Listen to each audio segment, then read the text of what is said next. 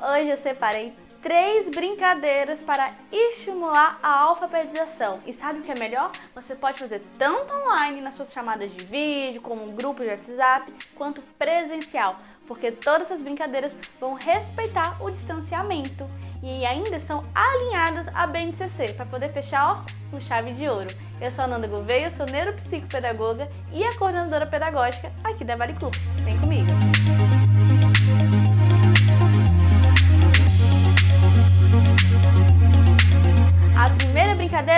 Chama A Última Palavra. Essa brincadeira é como se fosse um desafio. Na verdade, todas as brincadeiras você pode falar para as crianças que são um desafio. E essa tem o objetivo de estimular a oralidade, compreender letra inicial, letra final e, é claro, a leitura e a escrita, em várias percepções, independente do nível que essa criança esteja. Como que funciona? Você vai escrever a primeira palavra.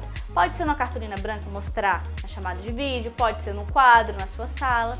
E, por exemplo, pode ser carro. Aí você escreve carro. Aí a criança, você vai escolher uma, pode ser em ordem, você escolhe.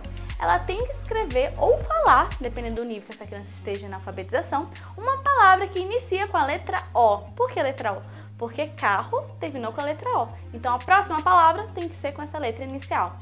Aí você escolhe, a criança falou ovo. Ovo. Ah, terminou com O de novo. Então a próxima criança tem que falar outra palavra que inicie com a letra O. E assim vai até todas. Se a criança não souber, ela pode sair da brincadeira, você pode dar um tempo estimulado. Se for uma brincadeira competitiva, aí você coloca o tempo, quem não souber sair da brincadeira, até sobrar apenas um.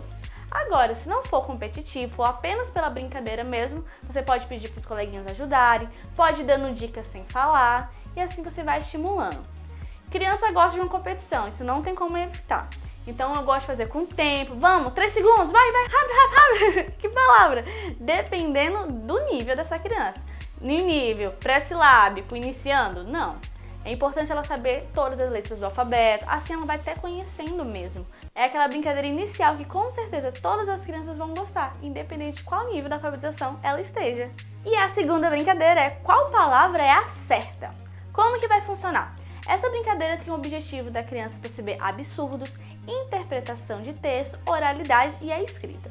Porque você vai falar uma frase. Hum, vamos ver. A professora estava almoçando quando ela encontrou no prato de comida. O que, que ela encontrou no prato de comida dela?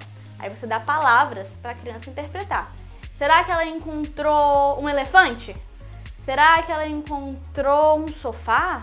Será que ela encontrou um celular? Ou será que ela encontrou arroz? Tá vendo? Você dá possibilidades para essa criança.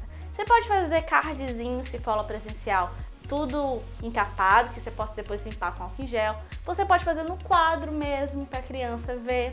Ou se for online, tanto na cartolina quanto no aplicativo, como quadro branco que você pode deixar na sua aula. E é assim a criança vai ter que interpretar, através dos absurdos. Será que a professora encontrou um elefante no prato de comida dela? Hum, não.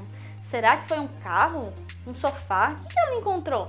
Só pode ser o arroz. Você pode trazendo níveis diferentes para isso palavras mais difíceis, frases mais complicadas ou mais simples, porque assim a criança vai ter que interpretar. Não adianta a gente falar de alfabetização e letramento se a gente não estimula o letramento, que é a interpretação e conhecer através da sensibilidade, compreendendo. E você pode deixar as crianças participarem também, falando agora é a sua vez, faça uma frase. Quais são as possibilidades? Quanto maiorzinha, mais ela quer participar, porque criança é muito criativo. Você vai ver cada absurdo, criança gosta de colocar palavras super diferentes incrível que pareça, a criança ainda pode errar. Porque ela vai de primeira, palavra que ela viu o conceito, ou então que ela pensou rápido, ela não leu direito. Então, nessa fase da alfabetização é muito importante estimular a interpretação. Afinal, interpretação está em todas as matérias: português, matemática, ciência e pro resto da vida. E por último, e não menos importante, a nossa terceira brincadeira se chama as Batalha das Letras. Colocou batalha, colocou desafio, toda criança gosta. Quem não gosta de ser desafiado? Como que vai funcionar? você vai selecionar algumas letras que não se repetem, por exemplo, A, D, C, e pode ser até maior, menor, mas o importante é que pelo menos umas três. E a criança vai ter que falar alguma palavra que comece com essas letras. Já que eu falei A, C, D, vamos ser abacaxi, dinossauro, carro. a criança colocou. Lembrando que você pode fazer no quadro, pode ser de forma oral, o importante é estimular e trazer essa brincadeira. Quando a criança seleciona, já que ela está trabalhando oralidade, vai trabalhar conceito do alfabeto, das letras, consciência fonológica, a criança vai ter que falar, ouvir, prestar atenção. E você, quando for falar sobre as letras, dê sempre algum exemplo, a criança ter uma base, somente se for as menores.